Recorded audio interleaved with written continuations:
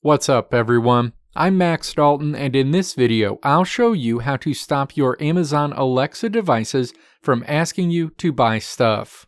By default, your Amazon Alexa devices are set up to give you personalized recommendations based on your shopping activity. These recommendations come in the form of deal and reorder recommendations. Thankfully, if you don't like the idea of your Amazon Alexa speakers randomly prompting you to buy items, Amazon makes it easy to turn that feature off. Now let's walk through the steps to stop your Amazon Alexa devices from asking you to buy stuff. Step 1. Launch the Amazon Alexa app on your iPhone, iPad, or Android device. You'll land on your Alexa home screen. Step 2. Tap the More icon in the menu along the bottom of the screen. A menu is displayed. Step 3. Tap Settings in this menu. The Settings menu is shown. Step 4. Tap Notifications in this menu. You'll land on the notification screen.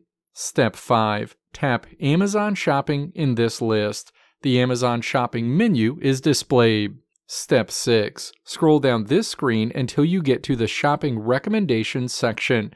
This is where you'll see options for how you receive personalized recommendations based on your shopping activity. Specifically, you'll see options to receive recommendations for deal recommendations and reorder recommendations. Step 7. If you don't want to receive these recommendations from your Amazon Alexa device, which will stop Amazon from asking you to buy stuff, tap to turn off the toggle associated with the options in this section.